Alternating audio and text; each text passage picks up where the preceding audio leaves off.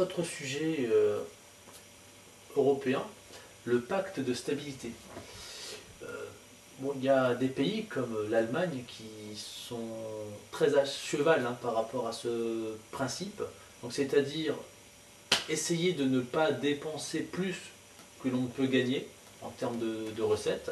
Donc, des pays comme l'Allemagne arrivent à avoir une, des pays comme l'Allemagne sont quasiment à l'équilibre des pays comme la France sont euh, déficitaires, donc 5,6% me, semble-t-il en termes de déficit. D'autres pays, c'est encore plus grave comme, euh, comme l'Espagne. Donc euh, on a vu qu'au niveau européen, on essaye de se mettre d'accord pour dire que le déficit c'est 3% du PIB maximum, pas plus, pour éviter d'avoir des, problèmes comme la Grèce a eu ces derniers temps. vous par contre, vous dites non à ce, pacte de stabilité. Euh, vous êtes euh, formellement contre. Est-ce que vous pouvez nous dire pourquoi et qu'est-ce que vous, vous, si vous étiez donc euh, aux commandes, si je puis dire, qu'est-ce que vous ferez pour, régler des problèmes comme le dossier grec où les déficits ont, avaient atteint donc 15% il fut un temps. Vous êtes contre le pacte de stabilité, mais qu'est-ce que vous, euh, proposez à la place?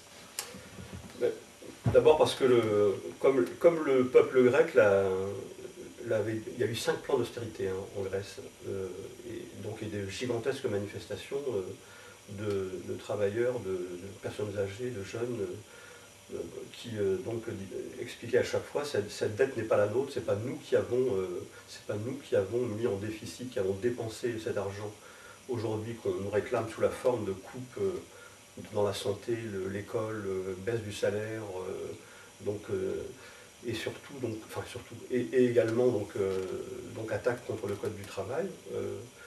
nous, c'est notre, notre, d'une part, le bon sens, c'est que, y compris un, certain déficit, on n'a pas à être contre un certain déficit. Regardez n'importe quelle famille euh, euh, des crédits, par exemple. C'est voilà le problème, c'est que d'une part, euh, si l'on prend un pays comme la France, de grosses entreprises comme Total ne payent aucun impôt en France. Elles ont réussi à totalement donc, installer leur, leurs différents centres d'exploitation, de gestion, etc., donc à l'autre bout du monde, dans, certains pays du monde, et donc ne payent pas d'impôts dans notre pays. Euh, il est évident que c'est ce genre de problème qui crée, le déficit. Deuxièmement, euh, il y a le, fait que la spéculation, hein, la grande crise de 2008, euh, dont, les, coupables sont les spéculateurs qui ont fait plonger partout donc les bourses qui ont fait plonger les banques. Et donc les banques elles-mêmes euh, se sont, retournées vers l'État, l'État qui a donc réduit les déficits, qui a prêté l'argent aux banques. Euh, et cela, cela, donne donc ce, ces, problèmes donc de, déficit.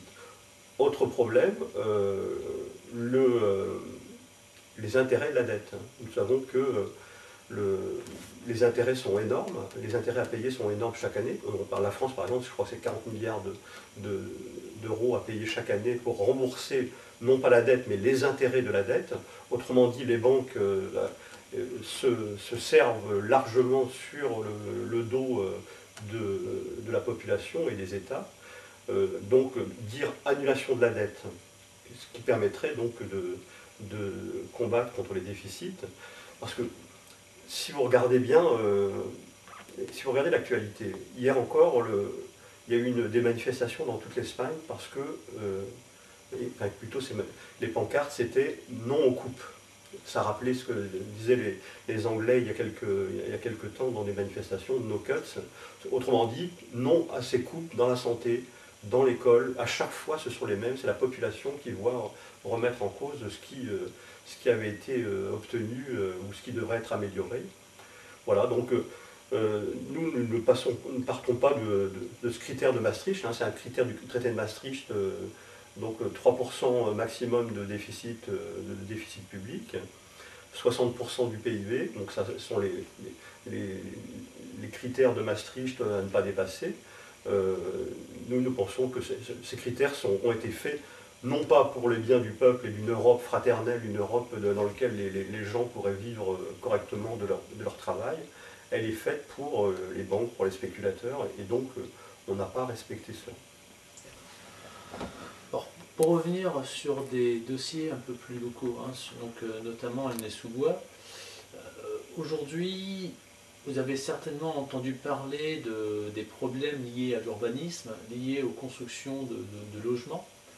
Donc euh, aujourd'hui, il y a un dossier phare qui est euh, euh, vivement combattu par une association qui s'appelle le dossier Croix-Blanche. Donc le maire et son équipe avaient proposé il y a quelques mois, voire un an, bientôt un an, la construction de entre 45 et 60 logements au niveau de l'ancien centre du terrain de l'ancien centre des impôts. L'association a vivement combattu, il y a eu des pétitions, il y a eu une forte médiatisation à ce sujet. Vous, quel est votre point de vue sur le devenir de ce, de ce terrain? Est-ce que vous pensez que 45 à 65 logements, ce serait l'idéal pour ce quartier? Ou est-ce que vous vous rangez plutôt du côté de l'association en disant non, on ne veut pas d'immeubles, on veut 30 logements, voire des pavillons. Euh, c'est quoi votre point de vue là-dessus? La question est un peu, complexe.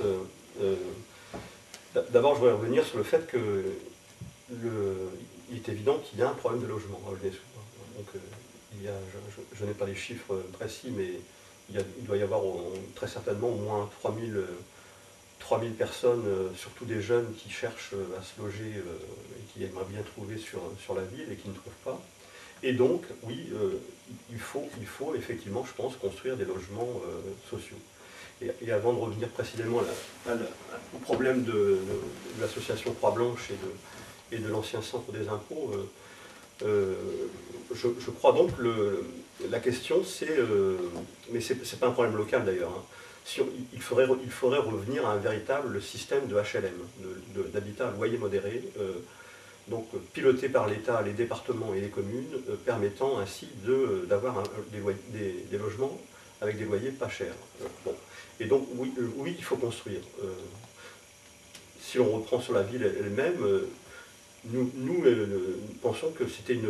On aurait parfaitement pu éviter que certaines tours dans les 3000 soient détruites, par exemple. Euh, on aurait parfaitement pu euh, donc euh, rénover un certain nombre de, ces tours, peut-être pas toutes, mais parce que ça paraît quand même dramatique, c'est que d'un côté on détruit des tours, on détruit des logements, alors que des millions de personnes dans, notre pays, des, milliers sur la ville, n'ont pas de logement. et donc, très certainement aurait-on pu faire autrement. mais là le problème c'est qu'on laisse les sociétés immobilières, on laisse les spéculateurs, les banques agir selon leurs propres intérêts, et donc euh, on, ne réfléchit pas d'abord par rapport à, cela. Ce qui fait que sur la ville, des, centaines de familles ont dû partir. On, sont, sont, allés s'installer ailleurs. Il euh, n'y a, qu'à voir les, écoles, les écoles qui ont fermé dans, les 3000, comme l'école euh, parce qu'on avait détruit les, logements autour. Donc, ça c'est un, un, point de vue général. il faut construire des centaines de logements sociaux en particulier sur la ville, euh, suffisamment bien, euh, suffisamment bien, donc bien équipés pour que ça ne soit pas des poches de, finalement de, difficultés sociales. Alors maintenant sur le problème de, l'hôtel des impôts. Figurez-vous que dans, une réunion il y a très longtemps avait, avait bon scandale. Donc qu'est-ce que vous ratez euh, Aulnay Sud, c'est Aulnay Sud?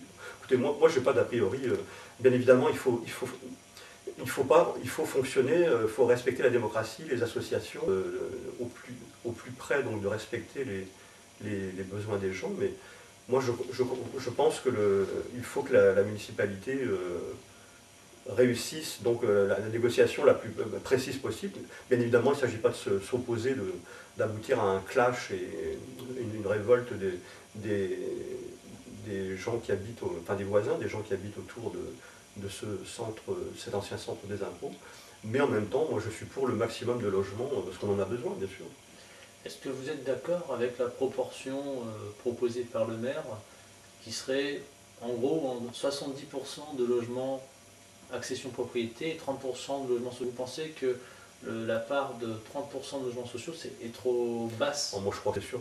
Écoutez, qui, qui aujourd'hui, euh, en plus avec le, le fait qu'on est en train d'attaquer, le, baisser, bloquer les salaires, on est en train de, il y a beaucoup de, beaucoup de chômeurs, etc., etc. Qui peut accéder à la propriété euh, Sinon une petite, euh, petite minorité. Moi, moi, je, suis, je suis pour le, maximum de logements sociaux. par, par exemple, 50% plutôt que 30 oui.